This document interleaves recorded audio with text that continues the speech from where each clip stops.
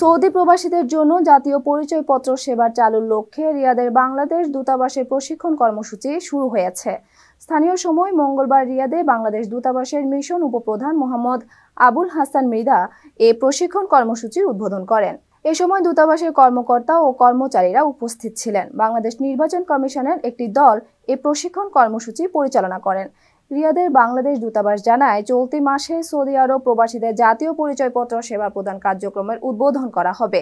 রিয়াদে বাংলাদেশ দূতাবাস ও জেদ্দায় বাংলাদেশ কনসুলেট থেকে এ সেবা প্রদান করা হবে। এদিকে প্রবাসী বাংলাদেশিদের প্রশংসায় ভাসিয়েছেন সৌদি আরবের আল জোফ প্রদেশের governor prince Faisal bin Nawaf bin Abdul Aziz Al Saud. মঙ্গলবার সৌদি আরবে নিযুক্ত বাংলাদেশের রাষ্ট্রদূত ডক্টর মোহাম্মদ জাবেদ পাটোয়ারি অলজাউফের গভর্নরের সঙ্গে বৈঠক করেন। এ সময় বাংলাদেশি কর্মীদের প্রশংসা করেন গভর্নর। আলজাউফের গভর্নর বলেন, বাংলাদেশের সঙ্গে সম্পর্ককে সৌদি আরব অত্যন্ত মূল্যায়ন করে। জব প্রদেশে কর্মরত বাংলাদেশিরা আমার ভাই, তাদের সাহায্য সহযোগিতা করা আমার দায়িত্ব বলে মনে করি। ওমানে শতভাগ নিজস্ব মালিকানায় ব্যবসা প্রতিষ্ঠান খুলতে কল করুন।